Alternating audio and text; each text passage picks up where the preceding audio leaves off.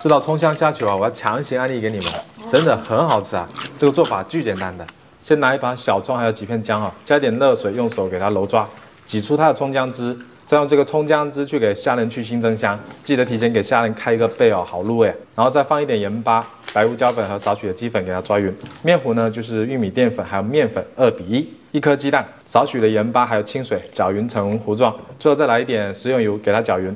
然后呢，再把虾仁还有大把葱末给它混合，锅里余温五成的就可以了。虾仁放进去炸个两分钟就可以熟了，最后呢复炸个三十秒就可以搞定了，很酥很脆啊。然后夹带着淡淡的葱香味，非常香。喜欢的话，下班回家就做给他吃吧。